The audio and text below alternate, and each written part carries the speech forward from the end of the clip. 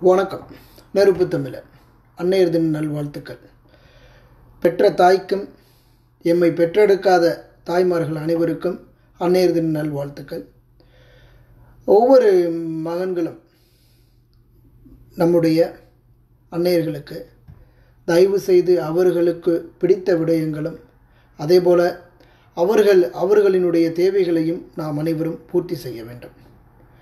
ஒரு தாய் என்பவள் அவளினுடைய அர்ப்பணிப்பும் அவளினுடைய சேவையும் இவ்வுலகில் இதையெல்லாம் மிஞ்சுகின்ற வகையில் இவ்வுலகில் வேறு எதுவும் இல்லை. அனைவரும் அன்னையை வணங்க வேண்டும். இன்றைய தமிழகத்தில் கூட இன்றைக்கு மிக முக்கியமான மாநக மாநகங்களில் செயல் மாநகங்களில் செ செயல்படக்கூடிய முதியோர் இல்லங்கள் அனைத்தும் மூடப்பட வேண்டும். நாம் அனைவரும் அன்னையை மதித்து அன்னையினுடைய அற்ப அர்ப்பணிப்பை உணர்ந்து அனைவரும் அன்னையை பேணி பாதுகாக்க வேண்டும். அன்னை இல்லாமல் நாம் யாரும் இந்த உலகத்தில் வந்ததில்லை. ஒரு தாய் என்பவள் அவளினுடைய அர்ப்பணிப்பு. வீட்டில் இருக்கக்கூடிய எல்லாரையும் சாப்பிட வச்சுட்டு இருக்கக்கூடிய மிச்ச மீதியை சாப்பிட்டு அனைவரும் நல்லா இருக்கணும் என்று நினைக்கக்கூடியவர் எல்லாரும் ஏழு மணி எட்டு மணி ஒம்பது மணிக்கு தூங்கிடுவோம் பன்னிரெண்டு மணி ஒரு மணி வரைக்கும் வேலையை பார்த்துட்டு கா காலையில் எல்லோரும் எட்டு மணி ஒம்பது மணிக்கு எழுந்திருப்போம். ஆனால் நாலு மணி ஐந்து மணிக்கு எழுந்து நமக்கு தேவையான அனைத்தையும் செய்யக்கூடியவள் தாய் மட்டும்தான். இந்த உலகில் தாயினுடைய பாசத்திற்கு மிஞ்சியது உலகில் எதுவுமே இல்லை. நீங்கள் எந்த ஒரு மதத்தை சார்ந்தவராக இருந்தாலும் நீங்கள் எந்த ஒரு இனத்தை சார்ந்தவராக இருந்தாலும் நீங்கள் எந்த ஒரு இறைவனை கும்பிடுகின்றவர்களாக இருந்தாலும் இவற்றில் தாயினுடைய அன்பிற்கு ஈடு இணை என்பது இந்த உலகில் எதுவுமே இல்லை. தாயினுடைய ஈடு இணை தாயினுடைய அன்பிற்கு நிகர் இவ்வுலகில் எதுவுமே இல்லை. எத்தனை கோயில் கட்டினாலும் நீங்கள் எத்தனை மசூதிகளை திறந்திருந்தாலும் எத்தனை கிறிஸ்த கிறிஸ்தவ ஆலயங்களை நீங்கள் கட்டினாலும் ஒரு தாயினுடைய அன்பிற்கும் ஒரு தாயினுடைய அர்ப்பணிப்பிற்கும் ஈடு இணை இவ்வுலகில் எதுவும் இல்லை. நீங்கள் எத்தனை கும்பாபிஷேகங்கள் நடத்தினாலும் எத்தனை அன்னதானங்கள் நடத்தினாலும் கோவில்களில் சென்று நீங்கள் எத்தனையோ ஆயிரக்கணக்கான ஆயிரக்கணக்கான ந ஆயிரம் டன் நகைகளை வைத்து நீங்கள் உண்டியலில் போட்டாலும் கோடி ரூபாய்களை இறைவனுக்கு படைத்தாலும் ஆனால் ஒரு தாய்க்கு நீங்கள் மனப்பூர்வமாக செய்யக்கூடிய ஐந்து ரூபாயாக இருக்கட்டும் ஐம்பது ரூபாயாக இருக்கட்டும் ஐநூறு ரூபாயாக இருக்கட்டும் அதை விட ஒரு உயர்ந்த தொகை இவ்வுலகில் எதுவும் இல்லை ஒவ்வொருவரினுடைய வாழ்விற்கும் ஏற்றாற் போல வருமானம் என்பது உண்டுதான். ஒவ்வொரு தாயினுடைய ஒவ்வொரு தாயினுடைய எதிர்பார்ப்பும் தன்னுடைய மகன் மகனினுடைய கையில் இருந்து பெற வேண்டும் என்பதுதான். அது லட்சங்களோ கோடிகளோ அல்ல. அது ஒரு பைசாக்கள் இருந்தால் இருந்தாலே போதுமானது தான் ஒவ்வொருனுடைய தாயும் இவ்வுலகில் ஏற்றத்தாழ்வுகள் பல உண்டு. ஆனால் ஒரு ஏற்றத்தாழ்வு இல்லாத ஒரே ஒரு பெண்மணி தாய் மட்டும்தான். இவ்வுலகில் போட்டி உண்டு போராமை உண்டு அனைத்தும் உண்டு. ஆனால் ஒரு தாய் மட்டும்தான் என்றும் தனது பிள்ளைகளை நேசிக்கக்கூடிய ஒரு நபர். நாம் உறவுகளோடு பிறக்கின்ற பொழுது அண்ணன் தம்பிகளாக பிறக்கின்றோம் அக்கா தங்கச்சிகளாக பார்க்கின்றோம். இவர்களெல்லாம் நம்முடன் பிறந்திருந்தாலும் ஒரு காலகட்டங்களில் ஏற்ற தாழ்வுகள் என்பதும் உருவாகின்றது. அந்த ஏற்ற தாழ்வுகள் என்பது போட்டி போராமையில் முடிகின்றது. இன்றைக்கு இருக்கக்கூடிய அண்ணன் தம்பிகள் சொத்து பிரச்சனைகளுக்காக அடித்துக் கொள்கின்ற நிலைகளும் இருந்து கொண்டிருக்கின்றது.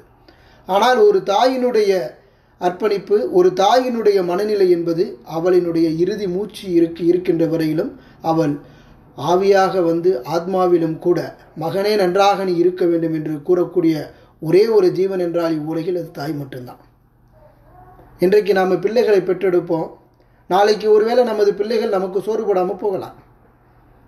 ஆனால் ஒரு தாய்க்கு சோறு போடாமல் போனால் கூட அந்த தாய் எனது மகன் எங்கிருந்தாலும் நன்றாக இருக்க வேண்டும் என்று எண்ணக்கூடியவள் தான் ஒரு தாய். அந்த தாயைத்தான் எப்பொழுதுமே நம்ம பூமியோடு ஒப்பிடுகின்றோம். பூமி என்பதும் தாய் என்பதும் சமமான ஒன்று. நம்மை சுமந்து வயிற்றில் மட்டும் சுமக்காமல் நம்மை நம்முடைய வாழ்விலும் தோளில் சுமந்து இறுதி வரையில் நம்மோடு வாழ்ந்து கொண்டிருக்கக்கூடியவள் தாய் மட்டும்தான்.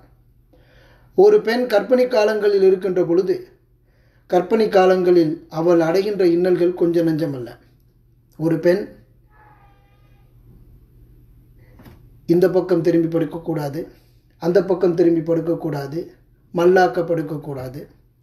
என்றெல்லாம் இது சாப்பிடக்கூடாது அது சாப்பிடக்கூடாது இப்படி இருக்க வேண்டும் அப்படி இருக்க வேண்டும் இப்படி இருந்தால் தான் குழந்தை பெற முடியும் அப்படி இருந்தால் தான் குழந்தை பெற முடியும் என்ப என்ற ப ஆயிரம் விடயங்களை கடந்து துன்பங்களை கடந்து தன்னை அர்ப்பணித்து ஒரு குழந்தையை பெற்றெடுக்கின்றார் ஒவ்வொரு பிரசவமும் ஒரு பெண்ணினுடைய மறு அவதாரம். அந்த அர்ப்பணிப்பு என்பது அன்று மட்டுமல்ல அந்த குழந்தை அந்த குழந்தை உருவானதிலிருந்து அந்த குழந்தையை பெற்றெடுப்பதிலிருந்து இறுதி வரையில் அந்த குழந்தையை தன்னோடு பாதுகாத்து கொண்டு இறுதி வரையில் அந்த குழந்தைகளோடு பயணிப்பவள் தான் தாய். தாய்க்கு ஈடு இணை இவ்வுலகில் எதுவும் இல்லை தாய் என்பவள் போற்ற தாய் என்பவள் கடவுளை விட உயர்ந்தவள். அத்தாயை நாம் அனைவரும் பேணி பாதுகாக்க வேண்டும். தாயினுடைய அருமை இருக்கும்போது எவருக்கும் தெரிய தெரியாது தெரிவதில்லை. அந்த தாய் என்பவள் இருக்கின்ற பொழுது நாம் தாயை உதாசீனப்படுத்தி இருப்போம். அந்த தாயை திட்டி இருப்போம்.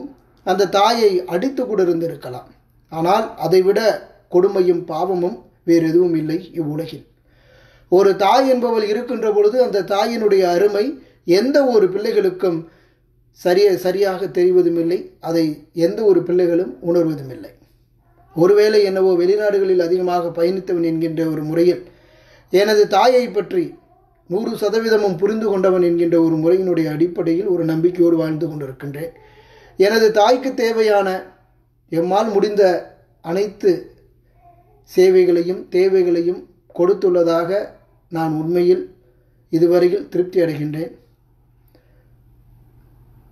நான் பனிரெண்டாவது படித்து முடித்துவிட்டு ஸ்ரீரங்கம் கோவிலுக்கு சென்றபோது எனது தாயினுடைய கையில் இருந்த ஒரு சிறிய கை கடிகாரம் என்பது கீழே விழுந்துருச்சு. கீழே விழுந்தபோது அந்த தாய் என்பவளினுடைய படபடப்பு துடிதுடிப்பு எனது எனது என்னை இன்றும் நான் நினைக்கின்ற பொழுது மனம் மிகுந்த வேதனை அடையும். அன்று கூறினேன் அம்மா உங்களுக்கு வேண்டிய ஒரு கை கடிகாரத்தை நான் வாங்கி தருகின்றேன் என்று. ஆனால் அதை வாங்கி கொடுப்பதற்கு சில ஆண்டுகள் ஆகின. சில ஆண்டுகளுக்கு பிறகே அந்த கை கடிகார கை கடிகாரத்தை எனது அம்மாவுக்கு நான் வாங்கி கொடுத்தேன். ஆனால் அந்த கை கடிகாரம் துளைந்ததை விட துளைந்த போது அவள் வருந்தியதை விட அந்த கை கடிகாரத்தை இரண்டு மூன்று ஆண்டுகளுக்கு பிறகு அவள் பெற்றபோது அவள் அடைந்த இன்பத்தை நான் பார்த்தபோது உலகில் மெய் சிலிர்த்து போனேன். அந்த அளவிற்கு ஒரு தாயினுடைய உணர்வுகளும் ஒரு தாயினுடைய மகிழ்ச்சியையும் நாம் காண முடியும். ஒரு தாய் என்பவள் இந்த உலகத்தில் தாய்க்கு நிகரான நிகரானவர் இவ்வுலகில் எவரும் இல்லை தாய் தாய் தான் நாம் அனைவரும் ஒரு தாய் என்பவள் எப்பொழுதுமே தன்னுடைய பிள்ளைகளுக்கு ஏனிப்படியாக இருப்பவள் தான் ஆயிரத்தி தொள்ளாயிரத்தி தொண்ணூற்றி மூன்றிலிருந்து தொண்ணூற்றி தொண்ணூற்றி மூன்றிலிருந்து தொண்ணூற்றி நான்காம் ஆண்டுகளில் பள்ளிக்கூடத்தில் படிச்சுட்டு இருக்கும்போது திடீர்னு பள்ளிக்கூடத்தில் படிக்கும்போது அரசு பள்ளியில் சிங்கமுனரியில் படிக்கும்போது தந்தை எங்கேயோ வெளியூருக்கு போயிட்டாரு. சிறப்பு கல்வி கட்டணம் ஸ்பெஷல் ஃபீஸ் கட்ட முடியல. கடுமையான போராட்டம். இறுதியில் இன்றைக்கி தான் கடைசி நாள் அப்படின்னு சொல்கிறாங்க இறுதியில் எல்லாரும் போகிறாங்க நம்ம போராடிட்டு இருக்கோம். ஆனால் இறுதியில் திடீர்னு தாய் வந்து வந்து அப்பா இந்த கா இந்த இந்த ஃபீஸை கட்டிருங்கப்பா அப்படின்னு சொல்லி கொடுக்குறாங்க. அம்மா தந்தை அம்மையே வந்து அம்மையார் வந்து நேர பள்ளிக்கூடத்துக்கு வந்து கொடுக்குறாங்க. அப்போ எப்படி இவங்க கொடுத்துருப்பாங்க என்று நம்ம யோசிக்கிறோம். என்னதான் நம்ம ஒரு சிறிய வயதாக இருந்திருந்தாலும் அந்த நேரங்களில் எனக்கு தாயை நான் வந்து கவனித்து பார்க்குறேன் அப்போ தாயை பார்க்கும்போது திடீரென கழுத்தில் ஏற்கனவே ஒரு மஞ்சள் ஒரு மஞ்சள் கயிறு தான் இருக்கும். அந்த மஞ்சள் கயிறு தான் இருந்துச்சு. அந்த மஞ்சள் கயிறில் அந்த காலங்களில் எல்லாருக்கும் தெரிஞ்சிருக்கும் தெ தெரிஞ்சிருக்கலாம் ஒரு சிறிய ஒரு மாங்கல்யம் இருக்கும் பித்தளையில். அந்த பித்தளையை கொண்டு போய் அப்போல்லாம் அடகு கடையில் வச்சா நூறுரூவா நூற்றம்பது ரூபா கொடுப்பாங்க. அப்போது அந்த இடத்துல ஒரு வெறும் மஞ்சள் கயிறை கட்டிட்டு மஞ்சள் கயிறை ஒரு மஞ்சள் எடுத்து கட்டிட்டு மஞ்சள் கயிறில் ஒரு மஞ்சளை வந்து போட்டுட்டு அந்த இதை அடமானம் வைத்து விட்டு கொண்டு வந்து பள்ளிக்கூடத்தில் அந்த சிறப்பு கல்வி கட்டணத்தை கட்டினாங்க. அப்போது எனக்கு முப்பத்தைந்து ரூபாயும் எனது அண்ணனுக்கு முப்பத்தைந்து ரூபாயும் கிட்ட கிட்டத்தட்ட இருபத்தி ஏழுலேருந்து முப்பத்தி ஐந்து ரூபாய் தான். அதை கட்டுவதற்கு அன்றைய காலகட்டங்களில் அவ்வளவு விதமான ஒரு கடினமான ஒரு சூழல். அதை கூட ஒரு தாய் கட்டினாங்க. அதற்கு அடுத்ததாக நான் வந்து சமையல் கலையில் படிக்கணும் கேட்டரிங் படிக்கணும் அப்படின்னு ரொம்ப விரும்பின காலம் உண்டு. அப்போ விரும்பிய போது எங்களால் எங்கள் குடும்பத்தில் அப்போ படிக்கும்போது கேட்டரிங் போகணும் அப்படின்னா அது ஒரு கடினமான ஒரு இலக்கு தான். அப்போது என்னுடைய நீ விரும்புகின்ற அந்த கல்வியை நீ படி என்று இறுதி வரையில் அங்கேயும் இங்கேயும் கடனை வாங்கி இறுதியில் கட்டியவள் எனது தாய் தான். இன்றைக்கு நாம் கனடாவில் இருக்கலாம். இன்றைக்கு கனடாவில் நான் பெரிய ஆள் ஆகிட்டேன்னு சொல்லலாம். இன்றைக்கு சமூக ஆர்வலர்னு சொல்லலாம் இல்லை அரசியல்வாதி என்று குறிப்பிடலாம். ஆனால் அன்றைய அன்னையினுடைய அர்ப்பணிப்பு இன்றைக்கு நாம் நிமிர்ந்து நிற்கிறோம். ஒரு தாய் என்பவள் எந்த எவ்வித எதிர்பார்ப்புமின்றி இருக்கக்கூடியவள் தான் ஒரு தாய். எந்த எதிர்பார்ப்புமின்றி இருக்கக்கூடியவள். எந்த விதமான எதிர்பார்ப்புமின்றி அதற்கான எந்த விதமான ஒரு பலனையும் எதிர்பார்க்க எதிர்பார்க்காதவள் எதிர்பார்க்காதவள். அத்தாயை நாம் அனைவரும் வழங்க வேண்டும். ஐந்தில் விளையாதது ஐம்பதில் விளையப் போவதில்லை அவளினுடைய கண்டிப்பு ஒரு தாய் ஒரு தாய் சிறிய வயதில் அடிக்கின்ற போதோ ஒரு தாயினுடைய தாய் சிறிய வயதில் நம்மை கண்டிப்பது. ஐந்தில் விளையாதது ஐம்பதில் விளையாதது ஒரு தாயினுடைய அந்த கண்டிப்பு தான் இன்றைக்கு என்னை எல்லாம் ஒரு சிறந்த ஒரு ஒரு ஒரு ஒரு மனிதனாக இந்த சமூகத்தில் உருவாக்கியிருக்கின்றால் அதற்கு காரணம் எனது தாய் தான்.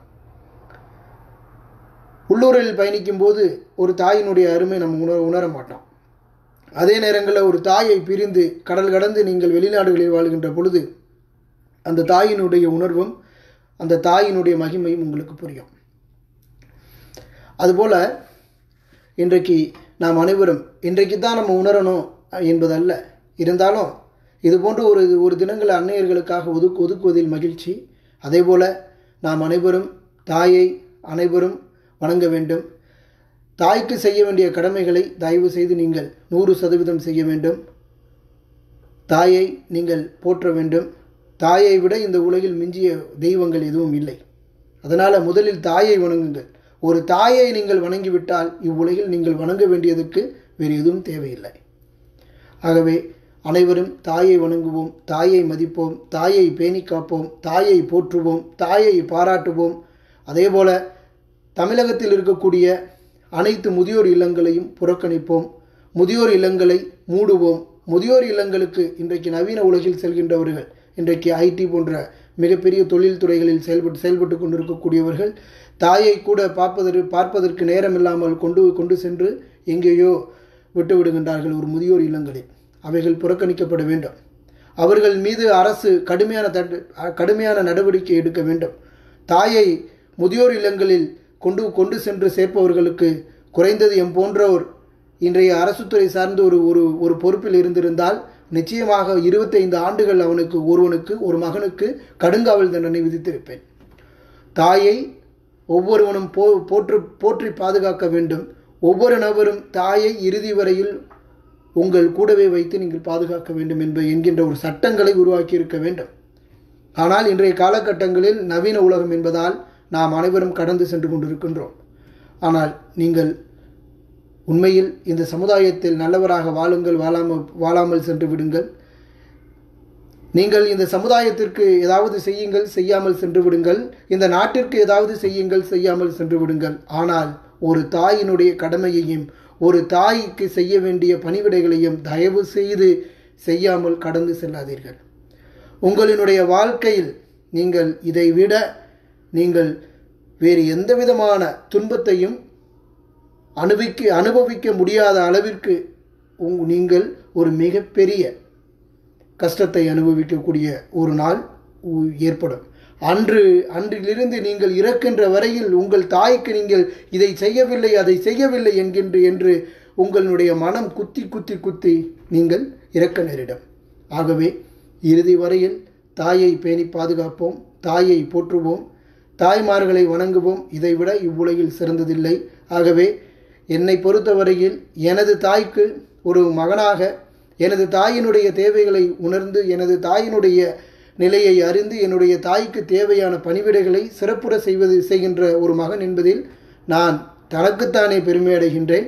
ஒருவேளை என்னுடைய தாய்க்கு தேவையான ஏதாவது ஒரு சில விடயங்கள் செய்யாமல் இருந்திருக்கலாம். ஆனால் அவற்றையும் கண்டறிந்து செய்வ செய்ய வேண்டும் என்கின்ற ஒரு மன உறுதியையும் அதேபோல அதற்கான ஒரு வாய்ப்பை மீண்டும் பெற வேண்டும் என்பது என்கின்ற ஒரு வரத்தையும் பெறுகின்றேன். இந்த ஜென்மம் மட்டுமல்ல எத்தனை ஜென்மம் எடுத்திருந்தாலும் எனது தாய்க்கு நான் மகனாகவே பிறக்க வேண்டும் என்று விரும்புகின்றேன். தாயினுடைய கண்டிப்பும் தாயினுடைய அந்த இளம் வயதில் நம் மீது வைத்திருக்கக்கூடிய அந்த ஒரு ஒரு சில நேரங்கள் நமக்கு தெரிகின்ற அந்த கண்டிப்பு தாய் நம் மீது வன்மம் கொள்கின்றாளோ என்று நினைக்கக்கூடிய ஒரு சிந்தனைகள் அது தவறானது. ஒரு தாயினுடைய கண்டிப்பு உங்களினுடைய எதிர்காலங்களில் உங்களை ஒரு சிறந்த ஒழுக்கமுள்ள ஒரு மனிதனாக உருவாக்கும். எனது தாயினுடைய சிறு வயதில் எனது தாயினுடைய கண்டிப்பு தான் இன்றைய காலகட்டங்களில் உலக நாடுகள் முழுவதும் சுற்றி வந்து கொண்டிருந்தாலும் இதுவரையில் எந்த விதமான ஒரு கெட்ட பழக்கங்களும் இல்லாமலும் வேறு தவறான ஒரு நாள் மது அருந்தி பார்க்கலாம் ஒரு நாள் புகைப்பிடித்து பார்க்கலாம் என்கின்ற ஒரு சிறிய ஒரு ஒரு சிறிய ஒரு சி ஒரு சிந்தனை கூட இதுவரையில் எமக்கு எழுந்ததில்லை. இதற்கெல்லாம் காரணம் எனது தாய்தான். ஒரு தாய் இந்த சமுதாயத்தில் ஒவ்வொரு ஒவ்வொருவனையும் அடையாளப்படுத்தி பார்க்கின்றாள். அதில் நானும் ஒருவன். ஆகவே பலரும் தாயை இழந்து வாடு வாடி வாடிய வாடிக்கொண்டிருப்பவர்களுக்கும் எனது அன்னையர் தின வாழ்த்துக்களையும் பெற்றெடுத்த தாய்க்கும் எம்மை பெற்றெடுக்காத அனைத்து தாய்களுக்கும் நாம் அனைவரும் வணங்குவோம். தமிழர்கள் பாசத்திற்கும் பண்பிற்கும் மாண்பிற்கும் உரியவர்களாகிய நாம் தாயை அனைவரும் பேணி பாதுகாப்போம் தாயை போற்றுவோம் தாயை வணங்குவோம். தாயை துணை அன்னையர் அவர்களுக்கு என்னுடைய அன்னையர் தின வாழ்த்துக்கள் நன்றி வணக்கம். நெருப்பு தமிழன்.